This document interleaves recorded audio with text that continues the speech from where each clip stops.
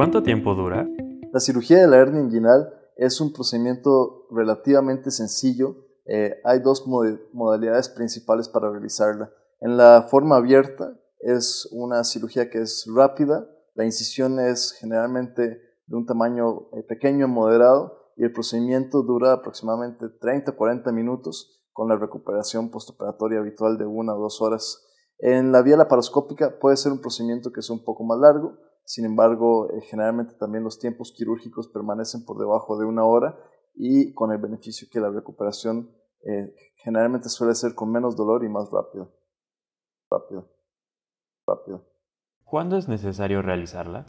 La cirugía de la hernia inguinal se recomienda siempre que haya alguna hernia presente. A veces eh, estas se detectan simplemente por la presencia de dolor. A la exploración física no necesariamente hay un abultamiento en la zona inguinal, y en ese momento es necesario recurrir a técnicas diagnósticas como el ultrasonido para detectarla.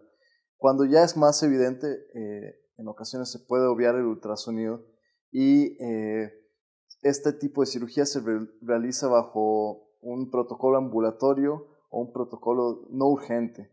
Hay momentos en los que la hernia inguinal se vuelve complicada y esto es cuando ya el contenido no entra a la cavidad abdominal y se presenta con dolor o inclusive puede haber fiebre y enrojecimiento de la zona. Y en ese momento es una urgencia quirúrgica y hay que atender el caso probablemente en las primeras horas que se presenta para que los, el pronóstico del paciente sea mejor. ¿Qué medidas se deben tomar? Con la hernia inguinal, si ya el paciente presenta los síntomas o los signos de una hernia, no hay mucho que se pueda hacer para prevenir eh, que ésta se llegue a complicar.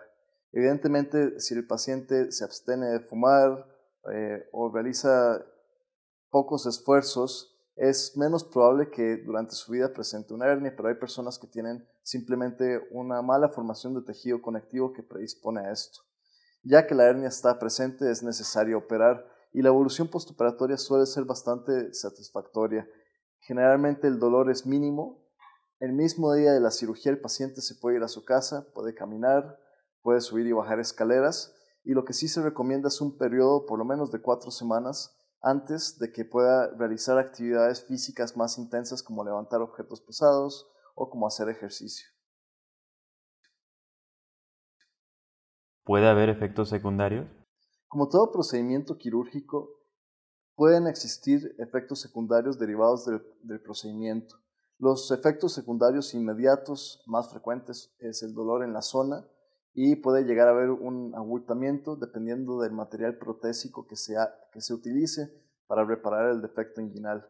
A largo plazo, el que más preocupa es el dolor que se puede presentar en la región o la falta de sensibilidad en la cara interna del muslo que se puede llegar a presentar debido a que por esta zona atraviesan pequeños nervios que pueden llegar a estar afectados. Sin embargo, con una buena técnica y teniendo una disección meticulosa, es eh, posible evitar este tipo de complicaciones.